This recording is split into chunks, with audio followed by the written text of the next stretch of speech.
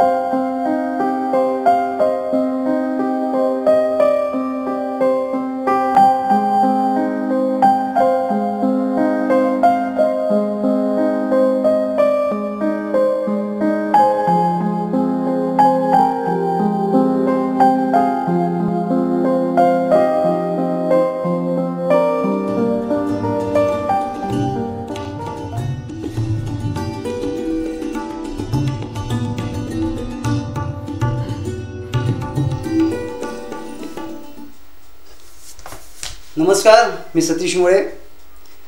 Konkan T व्हीच्या या खास शैक्षणिक कार्यक्रमामध्ये आपलं सर्वांचं स्वागत. दहावी परीक्षेच्या अंतिम टप्प्यातील तयारी आणि उज्ज्वल उद्यासाठी असा शैक्षणिक कार्यक्रम आपण या ठिकाणी सादर करतोय. दहावीच्या परीक्षा जवळ आलेल्या आहेत शैक्षणिक वर्ष आता संपत आलेलं आहे. आणि सगळ्यात महत्त्वाचा टप्पा शैक्षणिक वर्षातला कुठला असेल तर तो दहावीचा मानला जातो. आणि या दहावीच्या परीक्षांची तयारी कशी करायची त्याचं सूत्र काय आहे? कोणत्या पद्धतीने करायची? या सर्वाविषयी आपण या कार्यक्रमामध्ये चर्चा करणार आहोत. आणि ही चर्चा करण्यासाठी आपल्या इथे आपण प्राचारण केलेलं आहे. ते मच्छिंद्र चाटे आणि गोपीचंद चाटे या दोघा बंधूंनी चाटे कोचिंग क्लासेस ही संस्था सुरू केली. आणि यामध्ये कोल्हापूर विभागाचे संचालक प्राध्यापक भारत खराटे हे आहेत. आणि रत्नागिरी विभागासह सात जिल्ह्यामध्ये शैक्षणिक विभाग प्रमुख म्हणून चाटे शिक्षण समूहाचे प्राध्यापक Sarjerao Raut M S C B Ed आणि एम बी ए अशी पदवी प्रदान केलेली आहे आणि या शैक्षणिक क्षेत्रातला शिकवण्याचा एकोणीस वर्षाचा त्यांचा अनुभव आहे. मोटिवेटर म्हणून त्यांनी आत्तापर्यंत पाचशेपेक्षा अधिक मार्गदर्शन शिबिरं घेतलेली आहेत. अशा सरांना आपण या ठिकाणी के टी व्हीच्या स्टुडिओमध्ये बोलवलं आहे. सर के टी व्हीच्या स्टुडिओमध्ये तुमचं स्वागत आहे. नमस्कार. शैक्षणिक वर्ष संपत आलेलं आहे. आणि दहावीची परीक्षा हा शैक्षणिक वर्षातला फार महत्त्वाचा टप्पा समजला जातो. तर मला तुमच्याकडून असं जाणून घ्यायला आवडेल आमच्या दहावीच्या परीक्षेला आता जी मुलं बसणार आहेत. त्यांच्यासाठी मला सांगा की दहावी परीक्षा तर आपण नववीपर्यंत सगळ्याच देतो. पण दहावी परीक्षेचं वेगळे पण काय? इयत्ता नववीपर्यंतच्या ज्या परीक्षा आहेत या सेमिस्टर वाईज होतात. इयत्ता नववीपर्यंतच्या प्रत्येक परीक्षेमध्ये जी स्पर्धा असते ही स्पर्धा फक्त शालांतर्गत स्पर्धा असते. शाळेमधल्या पन्नास साठ शंभर दोनशे विद्यार्थ्यांच्या सोबत हा विद्यार्थी स्पर्धा करतो. इयत्ता दहावीमध्ये मात्र आयुष्यामध्ये पहिल्यांदाच हा दहावीतला विद्यार्थी महाराष्ट्रातल्या साधारण सोळा लाख विद्यार्थ्यांच्या सोबत स्पर्धा करतो. दुसरी गोष्ट जी आहे याच्यामध्ये इयत्ता नववीपर्यंतची जी स्पर्धा आहे ही स्पर्धा फक्त पुढच्या वर्षामध्ये प्रवेश मिळवण्या इतकी सीमित आहे. मी आठवीमध्ये चांगले मार्क मिळवले आणि नववीत आलो. इयत्ता नववीमध्ये चांगले मार्क मिळवले आणि दहावीत आलो. आयुष्यामध्ये पहिल्यांदाच इयत्ता दहावीची परीक्षा देताना मात्र तिथून पुढच्या काही वेगळ्या वाटा विद्यार्थ्यांच्या समोर असतात. याच्यामध्ये फक्त कॉलेज करायचं म्हटलं तरी आर्ट्स कॉमर्स आणि सायन्ससारख्या फॅकल्टी आहेत. याच्यानंतरच्या कालावधीमध्ये काही जण डिप्लोमाला जातात. याच्यापेक्षा काही जणांचे वेगळे मार्ग असतात. आणि या प्रत्येक मार्गांवरती जाताना इयत्ता दहावीमध्ये किती मार्क पडले याला अनन्यसाधारण महत्त्व आहे. आयुष्याचा बायोडाटा ज्याही वेळेला विद्यार्थ्याला लिहायची वेळ येते त्यावेळेला इयत्ता दहावीचा मार्क जे आहेत इयत्ता दहावीचे गुण जे आहेत हे पहिल्यांदा लिहावे लागतात. आणि हे वेगळेपण इयत्ता दहावीतलं विद्यार्थ्यांना यावर्षी जाणवतं. आणि म्हणून सगळे पालक आणि शिक्षक इयत्ता नववीपेक्षा इयत्ता दहावीमध्ये आल्यानंतर विद्यार्थ्यांच्याकडून जास्तीचा अभ्यास करून घेतात. निश्चित. म्हणजे सर तुम्ही म्हणलात की नववीत आठवीतून नववीत जाण्यासाठी आठवीचा अभ्यास किंवा नववीतून दहावीत जाण्यासाठी आठवी नववीचा अभ्यास असतो. पण दहावीचा अभ्यास हा काही लाख मुलांमध्ये आपण त्याच्यामध्ये आपलं कर्तृत्व दाखवायचं असतं आणि स्पर्धेमध्ये. स्पर्धेमध्ये टिकण्यासाठी तर मग दहावीचा रिझल्ट हा नक्कीच चांगला असायला हवा की निश्चित. पुढे आपल्याला वाटा फुटत असतात आपल्या करिअरच्या. तर दहावीचा रिझल्ट नक्कीच चांगला का हवा आणि त्याच्या पुढे काय मुलांना सक्सेस करण्यासाठी काय हे असतात इयत्ता नववी पर्यंतच्या रिझल्टचं जर तुम्ही अनालिसिस केलं तर तुम्हाला लक्षात येईल रिझल्ट चांगला असो वा नसो या दोन्ही ह्याच्यामध्ये तुम्हाला पुढच्या वर्गामध्ये जायची संधी तर मिळते. पण इयत्ता दहावीमधला रिझल्ट चांगला आहे किंवा नाही याच्यावरती मिळणारी संधी चांगली आहे की चांगली नाही हे ठरतं. उदाहरणार्थ इयत्ता दहावीच्या नंतरच्या कालावधीमध्ये जर एखाद्या विद्यार्थ्याला रिसर्चला जायचं असेल डॉक्टर व्हायचं असेल इंजिनियर व्हायचं असेल तर इयत्ता अकरावी आणि बारावी फक्त सायन्सला प्रवेश घेऊन चालत नाही तर बारावी नंतरच्या काही मोजक्या परीक्षा ज्या आहेत ज्या इंजिनिअरिंग मेडिकल आणि रिसर्चमध्ये जाण्यासाठी ठेवलेल्या आहेत ज्याला आपण सीई टी म्हणतो. त्या ठिकाणी तो सक्षम आहे का हे बघितलं जातं. आणि हे बघण्याचं साधन म्हणून e इयत्ता दहावीच्या मार्कांकडे बघितलं जातं. आणि हे जर मार्क चांगले नसतील तर त्याला त्या ठिकाणचा प्रवेश जो आहे तो प्रवेश मिळू शकत नाही. चांगल्या ठिकाणी शिक्षण घेण्यासाठी कॉलेजमध्ये सुद्धा आज रत्नागिरीचाही विचार तुम्ही केलात तर प्रत्येक कॉलेजचं एक ठरलेलं मेरिट आहे. या मेरिटशिवाय त्याला कॉलेजमध्ये प्रवेश मिळू शकत नाही. Even Chate I I T NEET academy यावर्षी आम्ही या ठिकाणी चालू केली. या ठिकाणी सुद्धा प्रवेश देताना इयत्ता दहावीतले पर्सेंटेज आणि त्याची एकूण क्षमता किती आहे या गोष्टी बघूनच आम्ही प्रवेश दिला आणि म्हणूनच इयत्ता अकरावीचे आमचे विद्यार्थी जे आहेत ते आज चांगलं यश मिळवत आहेत. हा त्या गुणांचा खऱ्या अर्थानं महत्त्वाचा निश्चित आहे. दहावीतले गुण हे तुम्हाला पुढे फार उपयोगी असतात. निश्चित. सर मुलं दहावीचा खूप अभ्यास करतात. हुशारही असतात. पण नेमकं पेपर सोडवताना घाई करतात. म्हणजे त्यांना येत असतं पण लिहिताना घाई गडबड करतात. तर मुलांनी पेपर सोडवताना नेमकी कुठली काळजी घ्यायला पाहिजे? खरं तर ही काळजी जी आहे ती शाळा आणि कोचिंग क्लासेस या ठिकाणी अगदी पहिल्या दिवसांपासून निश्चितपणानं घेतली जाते.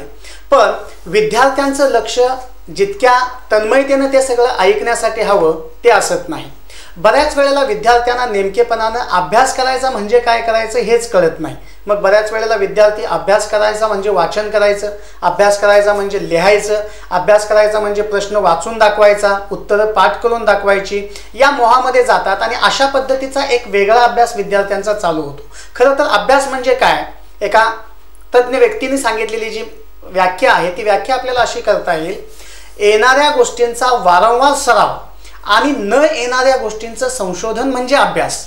याच्यामध्ये न येणाऱ्या गोष्टींचं संशोधन करून त्याचं पाठांतर करणं समजून घेणं हे तर विद्यार्थी करत राहतो. पण निम्मी जी व्याख्या पहिली आहे तो फर्स्ट हाफ विद्यार्थी विसरतो. आणि येणाऱ्या गोष्टींचा वारंवार तो सराव करत नाही.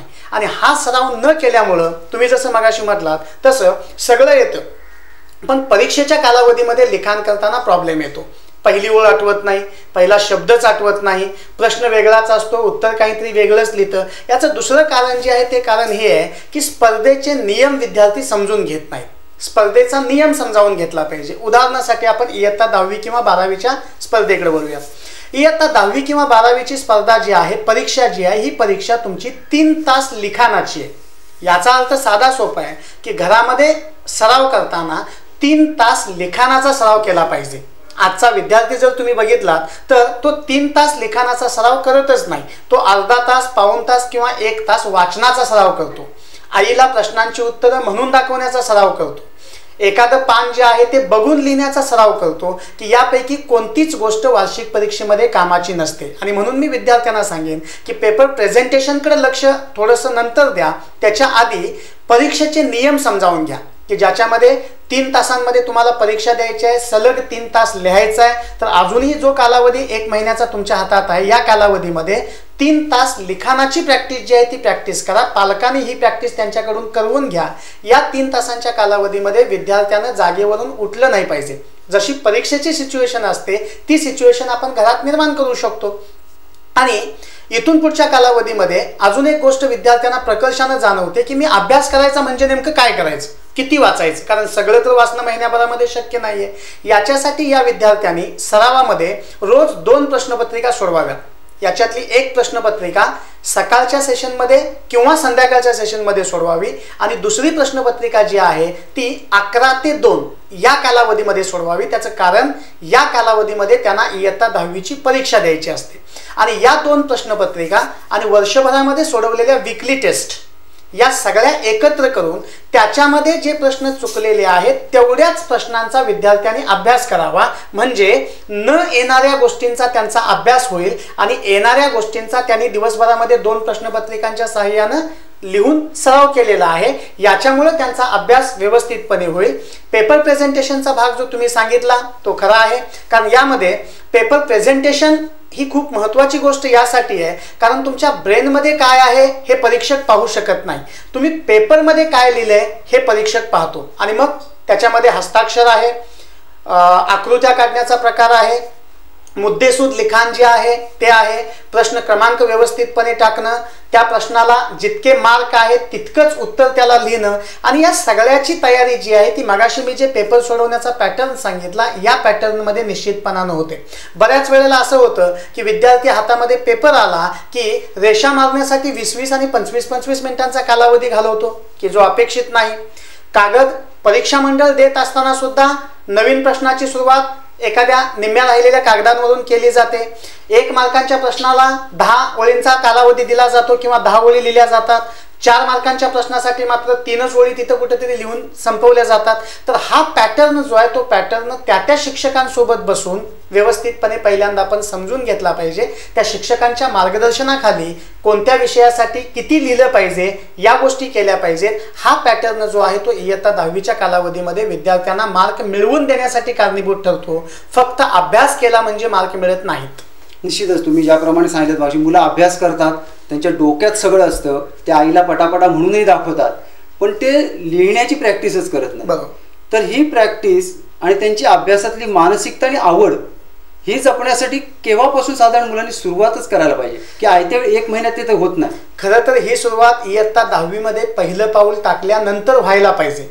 पण आता आपण भूतकाळांमध्ये जाऊ शकत नाही. आता आपल्याकडे जो एक महिन्यांचा कालावधी आहे या कालावधीमध्ये काय करायला पाहिजे? या गोष्टींच्यावरती चर्चा करूयात याच्यामध्ये मी मगाशी सांगितलं त्या पद्धतीनं पेपर सोडवले पाहिजेत आणि ते शिक्षकांच्याकडून चेक करून घेतले पाहिजेत. कारण गेल्या पंधरा दिवसांच्या कालावधीमध्ये मी स्वतः जे पेपर चेक करतोय याच्यामध्ये बहुतांश मार्क जे आहेत ते विद्यार्थ्याला येत नाही म्हणून जात नाहीत. प्रश्न क्रमांक चुकीचा टाकलाय. प्रश्न विचारला होता वेगळाच. उत्तर लिहिताना मला असं वाटलं की ते विचारलंय म्हणून मी त्याचं उत्तर लिहिलं आणि तो प्रश्नच विचारलेला नाही आहे अशा पद्धतीच्या गंभीर चुका ज्या आहेत त्या आता काल परवाच्या याच्यामध्ये एक पेपर तपासताना एक गोष्ट मला लक्षात आली की त्यानं प्रश्न क्रमांक पाच व्यवस्थितपणे सोडवला. पण चुकून प्रश्न क्रमांक पाचच्या ऐवजी तिथं चार लिहिलं. असा असेल तर तुम्ही सोडवलेला जो भाग आहे तो प्रश्न क्रमांक चार मधला नसल्यामुळं त्याला चूक देऊन शून्य मार्क दिल्याशिवाय पर्याय नाही. पण घरी आल्यानंतर विद्यार्थी हे सांगतो की नाही पप्पा नाही मम्मी मी अगदी व्यवस्थितपणे सोडवलंय. मी घरी आल्यानंतर उत्तरं चेक केलीत अगदी बरोबर आहेत आणि मला पैकीच्या पैकी मार्क पडायला पाहिजेत. पडले नाहीत तर साधारणपणे शिक्षकाला दोष देण्याची एक वेगळी प्रथा सध्या रुजू होत आहे. पण मी या ठिकाणी तुमच्या माध्यमातून पालकांना आणि विद्यार्थ्यांना ही गोष्ट सांगू शक सांगू इच्छितो की अशा पद्धतीनं पेपर तपासताना हलगर्जीपणा महाराष्ट्रामधल्या कोणत्याही शिक्षकांकडून होणं शक्यच नाही. त्याचं कारण दुसरं हे आहे की हे तुमच्याकडून कमी केलेले मार्क ते शिक्षक आपल्या मुलांना देऊ शकत नाहीत आपल्या शाळेतल्या मुलांना देऊ शकत नाही आणि जर ते मार्क कमी केल्यानंतर उपयोगच काय होणार नसेल तर ते तुमचे मार्क कमी कशासाठी करतील? याच्यामध्ये मॉडरेटर आणि चीफ मॉडरेटर हे तुमचे पेपर व्यवस्थित चेक केले गेलेत की नाहीत हे बघण्यासाठी एक विशिष्ट सिस्टीम शासनाकडून राबवली जाते. त्याच्यामुळं अशा पद्धतीच्या चुका शिक्षकांच्याकडून होत नाहीत त्या चुका विद्यार्थ्यांच्याकडून होतात आणि नेमक्या या चुका शोधण्यासाठी या महिन्याभराच्या कालावधीमध्ये असे अनेक पेपर सोडवणे आणि सोडवलेला प्रत्येक पेपर त्या विषयाच्या शिक्षकांच्याकडून तपासून घेणं अत्यंत गरजेचं आहे. निश्चितच. सर ज्यावेळेला मुलगा नववीतून दहावीत जातो त्यावेळेला अख्खं घर दहावीच्या परीक्षेला बसल्यासारखं सुरू असतं. प्रत्येकाला घरात टेन्शन असतं. तर मुलांच्या अभ्यासात आणि त्यांच्या संपूर्ण वर्षामध्ये पालकांचा सहभाग किती असायला हवा? आणि तो कसा असायला हवा? पालकांचा सहभाग तर अभ्यासामध्येच नाही तर मुलांच्या प्रत्येक ॲक्टिव्हिटीमध्ये असायला हवा. पण हा सहभाग जो आहे प्रत्येक गोष्टीला काही मर्यादा असतात. या मर्यादेमध्ये तो सहभाग असायला पाहिजे. उदाहरणार्थ माझ्या कामामध्ये जर कुणी येऊन ढवळाढवळ करायला लागलं तर मला ज्या पद्धतीनं काम करायला पाहिजे ती पद्धती मला गवसणार नाही. किंबहुना मी माझ्या ब्रेननं ते काम करू शकणार नाही ते दुसऱ्या कोणाच्या तरी डोक्यानं काम होईल आणि त्या कामाचे रिझल्ट मिळणार नाही. यासाठी पालकांची भूमिका जी आहे ती सहकार्याची असली पाहिजे. उदाहरणार्थ बघा ज्या वेळेला टाइम टेबल तयार केलं जातं अभ्यासाचं विद्यार्थ्यांच्याकडून त्यावेळेला पालक फक्त त्या टाइम टेबलमधल्या अभ्यासाशी संबंधित गोष्टींकडेच लक्ष देतो. मी तर म्हणेन ते द्यायलाही पाहिजे. पण याच्यासोबत विद्यार्थ्याला रिलॅक्सेशनसाठीचा वेळ मिळतोय का? त्याला रिफ्रेश होण्यासाठी काही कालावधी मिळतोय का? तो माणूस आहे. सतत अभ्यास करणं शक्य नाही. जर चार चार आणि पाच पाच तास तुम्ही विद्यार्थ्यांच्याकडून सलग अभ्यासाची अपेक्षा करत असाल तर ती फेल ठरेल. याच्यासाठी ते टाईमटेबल बनवताना त्याला थोडंसं खेळण्यासाठी काही योगा करण्यासाठी मेडिटेशनसाठी फ्रेश होण्यासाठी यासाठीचे काही तिथं ते संधी जी आहे ती संधी त्या त्या ठिकाणी जर टाइम टेबलमध्ये दिली तर विद्यार्थी नव्या उमेदीनं कामाला लागेल. या सगळ्या ह्याच्यामध्ये अजून एक गोष्ट मला प्रकर्षानं जाणवते मार्गदर्शन शिबिर आणि पालक विद्यार्थ्यांच्या सोबत बोलताना आजचा पालक विद्यार्थ्यांच्या सोबत फक्त अभ्यासाचंच बोलतोय. मी ज्या वेळेला पालकांना गमतीनं हा प्रश्न विचारतो की तुम्ही विद्यार्थ्यांच्या सोबत तुम्ही तुमच्या मुलासोबत मुलीसोबत खळखळून हसता का? पंच्याहत्तर टक्के पालकांना खळखळून हसलेलं आपल्या मुलांसोबतचं आठवतच नाही. जर असं होत नसेल तर विद्यार्थी एका मानसिक दडपणाखाली असतो. त्याला प्रत्येक वेळेला असं वाटतं की पप्पा समोर आहेत म्हणजे मला आता अभ्यास करायला पाहिजे. मम्मी समोर आहे म्हणजे मला आता अभ्यास करायला पाहिजे. आणि ज्या वेळेला संधी मिळते पप्पा घरी नसतात मम्मीचं लक्ष नसतं त्यावेळेला स्वतःहून अभ्यास करायला पाहिजे जे वाटायला पाहिजे ते वाटतच नाही. यासाठी विद्यार्थ्यांच्यावरती वॉचमन म्हणून काम करण्यापेक्षा त्याचा सहकारी म्हणून काम केलं. एखादा मार्क कमी पडला तर न रागवता तो मार्क वाढवण्यासाठी कसा प्रयत्न करता येईल यासाठी त्याच्या खांद्यावरती हात ठेवून दोन गोष्टी त्याच्यासोबत केल्या. दोन गोष्टी त्याला सांगायचा प्रयत्न केला तर विद्यार्थी निश्चितपणानं अभ्यासामध्ये पालकांचा सहभाग आवडीनं घेतो. पण असं होत नसेल तर मात्र तो पालकांचा अभ्यासातला सहभाग जो आहे तो नाकारतो. निश्चित म्हणजे मानसिक आरोग्य मुलांचं. हे सुद्धा सांभाळलं पाहिजे पालकांनी. निश्चित. त्याच्या आवडीचं जर काही असेल तर त्याला ते दहा पंधरा मिनिटं बघू द्यावं. नाहीतर त्याचं लक्ष अभ्यासात बसतो पण त्याचं लक्ष तिकडे असतं. याच्यामध्ये बऱ्याच वेळेला होतं असं की विद्यार्थ्याला अभ्यासला बसवलं जातं आणि पालक टीव्ही बघत बसतात. निश्चितच. विद्यार्थ्याला घरात अभ्यास करायला सांगितलं जातं आणि हे फिरायला जातात. त्यावेळेला विद्यार्थी मानसिकरित्या अभ्यास नाही करत. तो फिजिकली अभ्यासाला बसलाय पण मेंटली तो त्यांच्यासोबत फिरायला गेलाय. मग दोन तास तो घरात असूनही त्याचा काही उपयोग होत नाही. त्याच्यापेक्षा आठवड्यातून एक तास मुलाला आपण स्वतःहून फिरायला नेऊयात की ज्या कालावधीमध्ये तो फ्रेश होईल आणि पुन्हा आठवड्याभराच्या कालावधीमध्ये अभ्यासाला लागेल. सरावामध्येही हेच होतं. तीन तास पेपर लिहा. हे मी मगाशी सांगितलं. पण सलग तीन तास तो पेपर लिहितोय की नाही हे बघितलं जात नाही. आणि ते न बघितल्यामुळं विद्यार्थी एक तासानंतर उठतो दहा मिनटं फिरून येतो पुन्हा पेपरला बसतो. पेपर लिहून झाल्यानंतर तो पालकाला सांगतो की माझा पेपर लिहून झाला. पण कसा लिहिला हे न बघितल्यामुळं आपला जो उद्देश आहे तो उद्देश साध्य होत नाही. मेरिटच्या विद्यार्थ्यांचा जर तुम्ही विचार केला तर या विद्यार्थ्यांच्याकडून त्यांचे पालक फक्त अभ्यास करून घेत नाहीत. अभ्यासाव्यतिरिक्त त्यांची मानसिकता त्यांचं आरोग्य सांभाळण्याचं काम सुद्धा पालक त्याच ताकदीनं करतात. म्हणून ते विद्यार्थी मेरिटला येतात. निश्चित म्हणजे मानसिक आरोग्य आणि शारीरिक आरोग्य याकडे मुलांच्या आरोग्याकडे लक्ष द्यायला पाहिजे. निश्चित. सर मला सांगा अभ्यास करण्याचे काही कोष्टक तुम्ही आणलेली आहेत ती त्या पद्धतीने याच्यामध्ये कोष्टकाने कसा विद्यार्थ्यांच्या सोबत अभ्यास करताना मी मगाशी सांगितलं तसं ऍक्च्युअल अभ्यास करून घेताना कशाचा अभ्यास करायला पाहिजे आणि किती अभ्यास करायला पाहिजे हे सांगितलं गेलं पाहिजे. उदाहरणार्थ समजा माझ्या मुलाला नव्वद टक्के मार्क पडावेत अशी मुलाची अपेक्षा आहे माझी अपेक्षा आहे. इथंपर्यंत ते थांबत नाही. नव्वद टक्के मार्क डायरेक्ट ॲन्युअल एक्झाममध्ये पडणार आहेत का? नाही. मग आत्तापासून या महिन्याभराचं प्लॅनिंग जे आहे त्या प्लॅनिंगमध्ये मगाशी तुम्ही जसं सांगितलं तसं पालकांचा सहभाग कसा असला पाहिजे? तर पालकांनी मी आत्ता ज्या पद्धतीनं सांगतोय त्या पद्धतीनं एक कोष्टक तयार करून एक टेबल तयार करून विद्यार्थ्याला सहकार्य करायला पाहिजे की अभ्यास कोणत्या गोष्टीचा किती वेळ केला पाहिजे कोणत्या गोष्टीला जास्ती महत्त्व दिलं पाहिजे आणि कोणत्या गोष्टीला कमी महत्त्व दिलं पाहिजे. उदाहरणार्थ समजा एक्स वाय झेड नावाचा एक विद्यार्थी आहे. ज्या विद्यार्थ्याला नव्वद टक्के मार्क वार्षिक परीक्षेमध्ये अपेक्षित आहेत. आत्तापर्यंतच्या झालेल्या सराव परीक्षा ज्या आहेत चाटे कोचिंग क्लासेसचा विचार केला तर आतापर्यंत दोन सराव परीक्षा पूर्ण झालेत तिसरी सराव परीक्षा चालू आहे. तर मी विचार करेन आपल्या विद्यार्थ्यांना जरा दाखवाय दोन सराव परीक्षा ज्या क्लासेसमध्ये झालेल्या आहेत किंवा शाळेमध्ये झालेल्या आहेत त्या आणि सामायिक परीक्षा. या तीन सराव परीक्षांचा आपण मीन काढूया.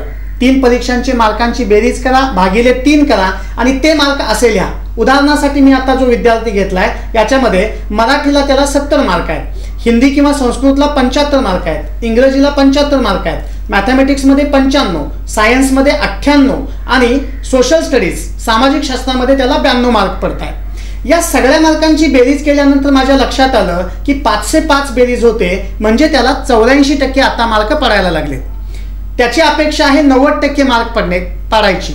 मग या दोघांच्यातला डिफरन्स काढल्यानंतर मला लक्षात आलं की सिक्स पर्सेंटचा डिफरन्स आहे. सहा गुणिले सहा छत्तीस मार्क त्याला वाढवायचे आहेत.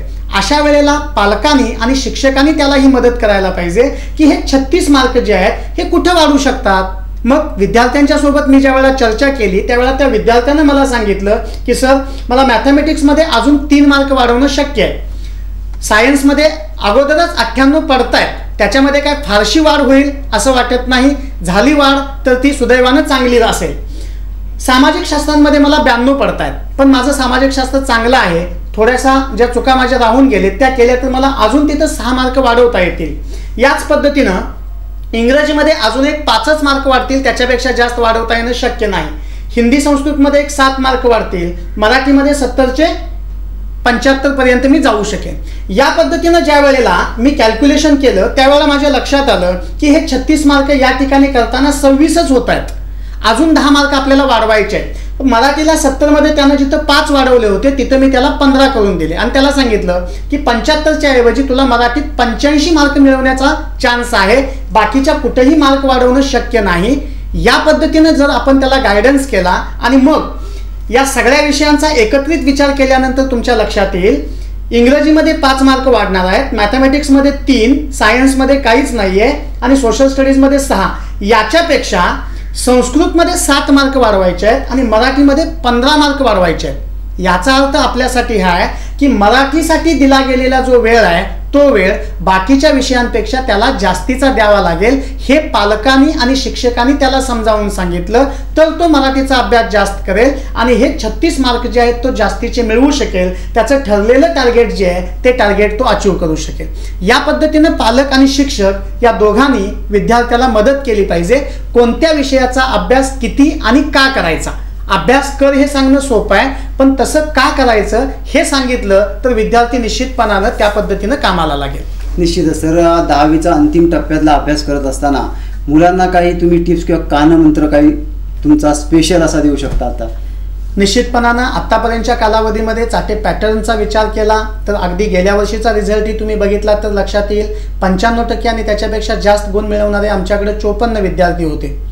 नव्वद टक्के आणि त्याच्यापेक्षा जास्त गुण मिळवणारे विद्यार्थी अकराशे चौऱ्याहत्तर इतके होते. I I T JEE NEET इतर ज्या परीक्षा झाल्या बारावी जेई मेन या प्रत्येक परीक्षेमध्ये या सहा सात जिल्ह्यांमध्ये आमचा विद्यार्थी पहिला येतो. याचं कारण आम्ही जो चाटे पॅटर्न तयार केला त्या पॅटर्नमध्ये तो विद्यार्थी अभ्यासाला लागतो. हा पॅटर्न काय आहे? या पॅटर्नमध्ये करवून घेण्याची सिस्टीम आम्ही वापरतो. विद्यार्थी करेल याच्यावरती विश्वास न ठेवता जे करणं अपेक्षित आहे ते त्याच्याकडनं करवून घेणं जास्त गरजेचं आहे. आणि म्हणून मी कानमंत्र देताना पालकांना पहिल्यांदा हे सांगेन की या महिन्याचं टाईम टेबल विद्यार्थ्यांच्या सोबत तुम्ही बनवा. आणि ते टाइम टेबल फक्त विद्यार्थ्यांच्याकडून फॉलो होतं का याच्यावरती जास्ती लक्ष द्या. दुसरी गोष्ट या कालावधीमध्ये होते अशी की नाही नवनवीन प्रकाशनाची पुस्तकं मार्केटमध्ये यायला लागतात. आठ दिवसात पास व्हा दोन दिवसांमध्ये पास व्हा काही जण तर अर्ध्या तासात पास व्हा अशा पद्धतीची पुस्तकं मार्केटमध्ये येतात आणि विद्यार्थी अशा पुस्तकांना बळी पडतो.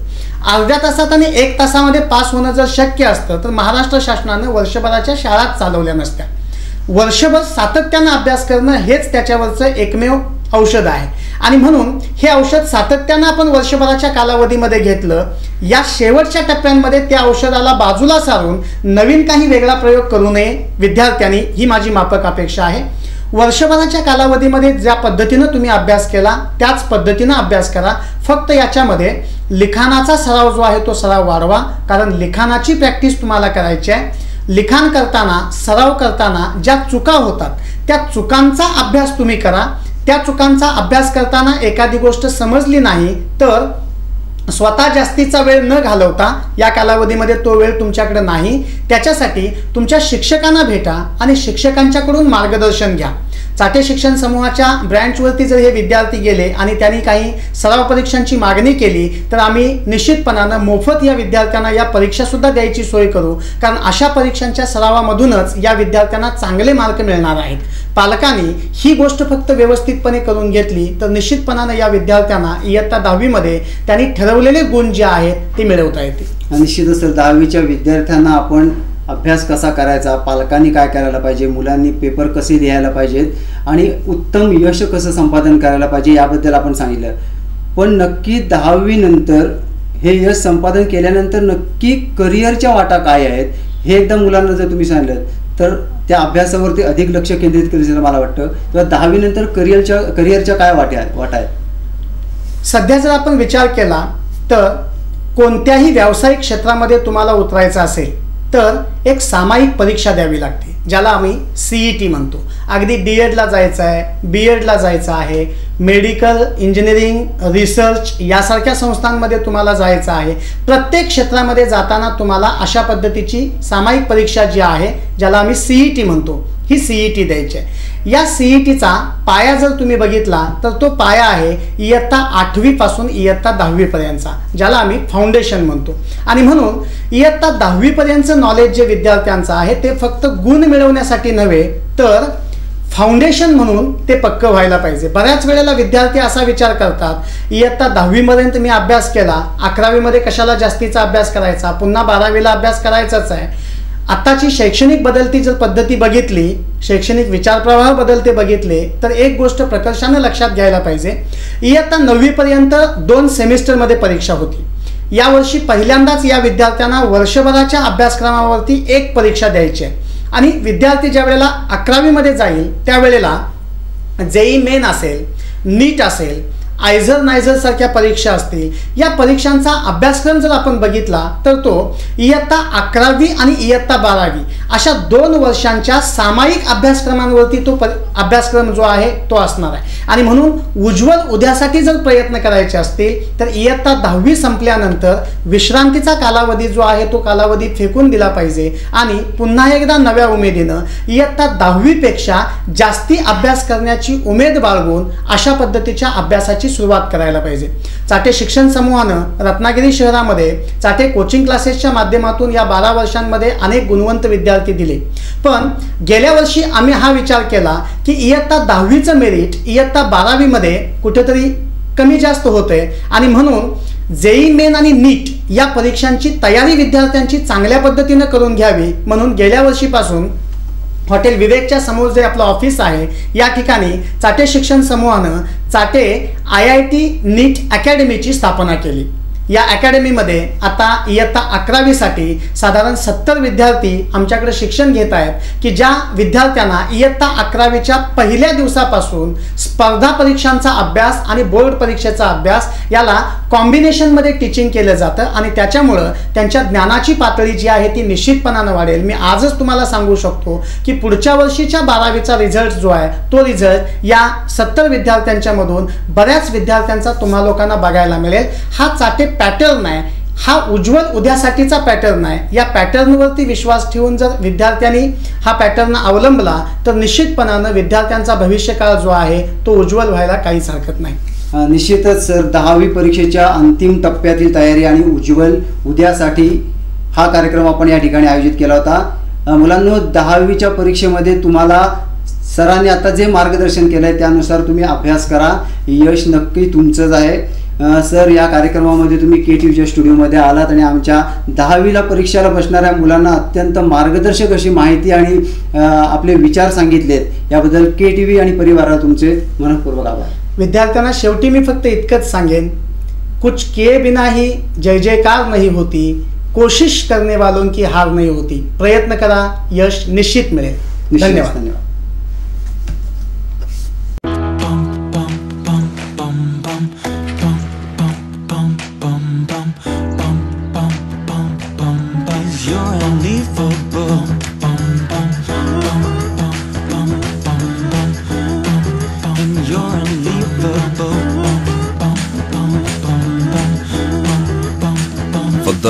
love their rides. Presenting the all-new Suzuki Access 125. The Unleavable.